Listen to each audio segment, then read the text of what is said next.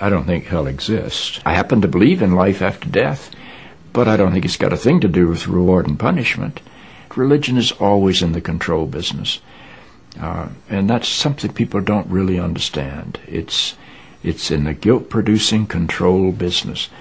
And if you have heaven as a place where you're rewarded for your goodness and hell as a place where you're punished for your evil, then you sort of have control of the population.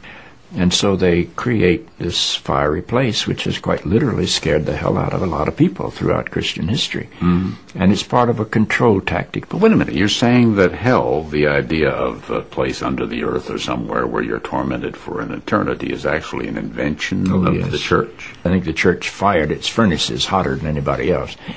but I think there's a sense in most religious life of, of reward and punishment in some form. The church doesn't like for people to grow up because you can't control grown ups. That's why we talk about being born again.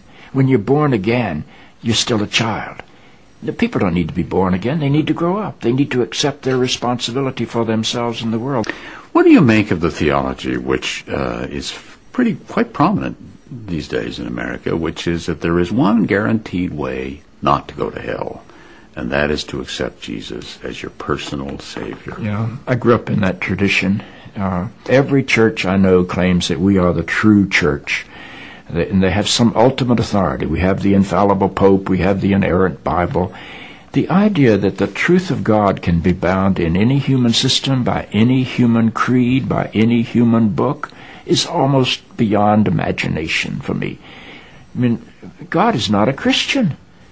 God is not a Jew or a Muslim or a Hindu or a Buddhist. All of those are human systems which human beings have created to try to help us walk into the mystery of God. I honor my tradition. I walk through my tradition.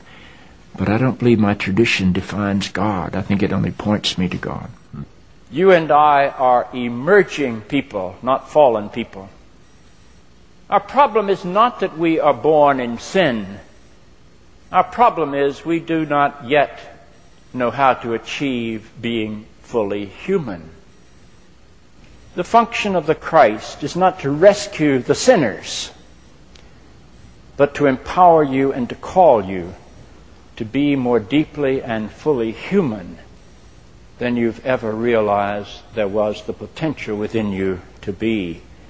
Maybe salvation needs to be conveyed in terms of enhancing your humanity rather than rescuing you from it.